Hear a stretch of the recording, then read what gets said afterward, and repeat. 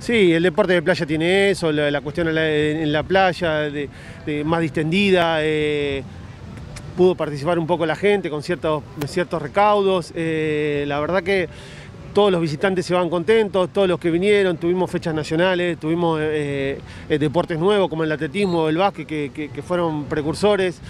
Nos hubiese gustado que haya más deportes. eh, hubo deportes como el Newcomb, por ejemplo, que estuvo en la primera edición y la verdad que fue uno de los mejores de la primera edición, pero bueno, por una cuestión también de edad decidimos que no y seguramente volverá en la tercera edición.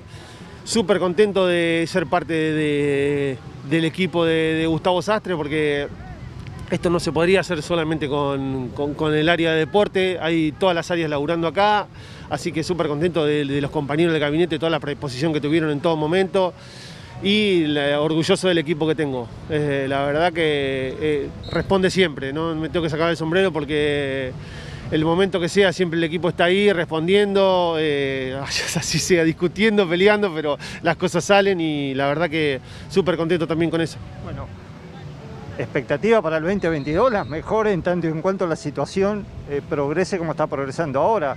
Ya lo han dicho los protagonistas, eh, algunos de ellos, como el del windsurf, Diego, han planteado la posibilidad de traer eventos internacionales a Madrid, porque tienen una cancha, como les gusta decir ellos, la cancha de regata, que es fantástica. Sí, yo creo que creo que durante esta semana o, los próximos días ya a nivel provincial se, determinará que las competencias de las ligas puedan volver a, desarrollarse y eso va a poder eh, hacer que el deporte vuelva en forma semiplena, digamos, con todos los cuidados que significan. Tenemos algunos eventos todavía eh, planeados para marzo.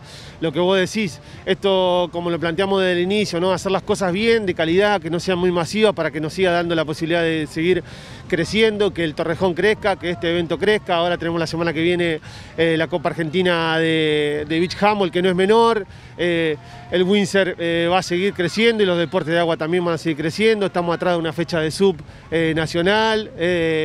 Bueno, todos los deportes tienen la posibilidad de, crecer. Así que después del año que tuvimos, la verdad que vemos con esperanza el año que viene, si somos responsables, si somos cuidadosos, si tomamos las decisiones que tenemos que tomar, si decimos que no, aunque no guste, y decimos que sí cuando creemos que, que sí.